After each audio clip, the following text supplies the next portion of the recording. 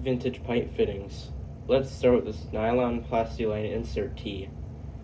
This T will connect three inch and a quarter poly pipes with one or two hose clamps.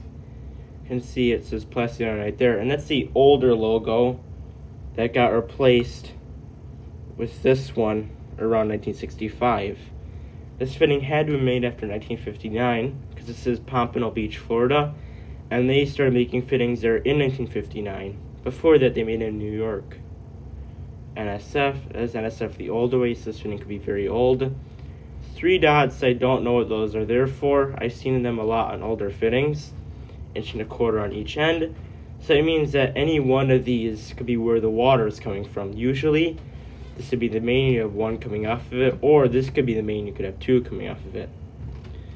You can see the way these barbs are designed, you can easily put a pipe on, but you can't easily pull it off because these barbs are flat on the other end. This barb is cracked and I don't know why. They don't go all the way through so they wouldn't chip off.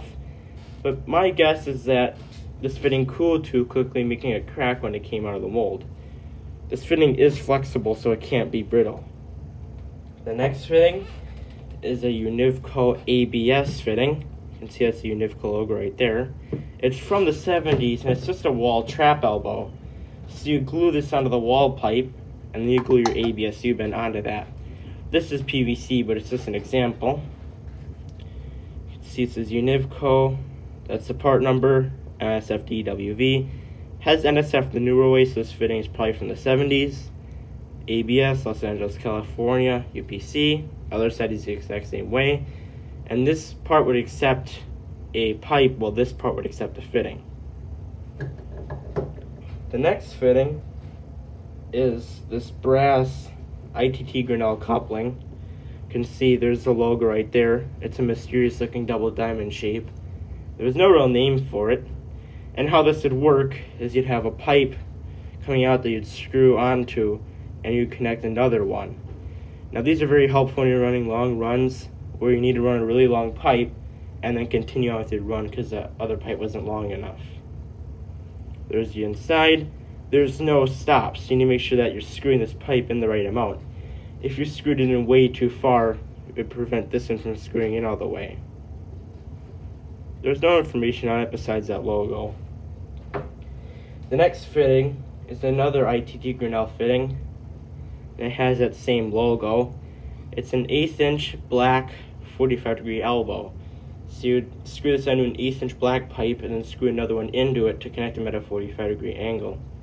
You can see there's the inside. The threads are very fine. Other side is the exact same way. There's another fitting that actually has a G on it. And a lot of Grinnell fittings have that G, and you'll usually see these fittings with the G on them. The next fitting is this cast iron drainage tee. It would connect to inch and a half male threaded pipe. And these are pretty simple. This is screw onto the drain, this is screw into the vent, and then this would be the trap arm. Now what you put into this trap arm could really vary.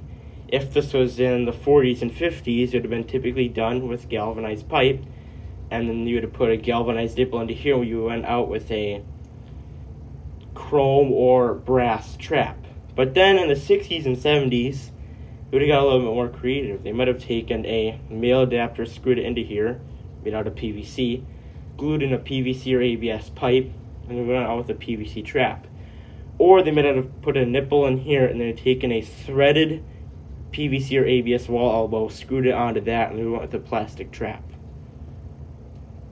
I'd assume that this fitting says American Foundry on it, and you can see the direction of flow is that way. If you put the fitting this way, there'd be a little bit water in the bottom of this pipe. That's the inside of the fitting.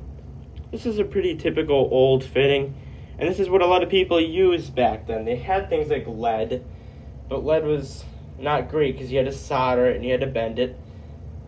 Copper started to come out. You had that, but it wasn't that durable of a drain. It's not really a good drainage material. So galvanized is one of the best things you had, and then plastic pipe came out in the 50s and 60s, and then that replaced galvanized. The next fitting is a Stockham valve fitting. It's a half inch by quarter inch black elbow. This would connect two pipes at a 90 degree angle. It says Stockham on it, and Stockham valve was founded around the 1920s. This fitting could be around that old, but I think Stockham went out of business in the 90s or something. So this fitting could be more recent. See, there's the inside. There's the outside of the fitting. It's actually pretty nice for its age. Even if it was 20 or 30 years old, it would still look pretty bad, but that one looks pretty good. The next fitting is this U brand galvanized cap, and this would screw onto a three quarter inch galvanized pipe. There's a U right there, made in USA, and this is where the wrench would grip onto, and that's the threads right there. They're somewhat rusted, but even new fittings will be rusted like that. This one actually looks pretty good. Now, this fitting could have been made between 1964 and 1992. I'd assume it's a little bit newer.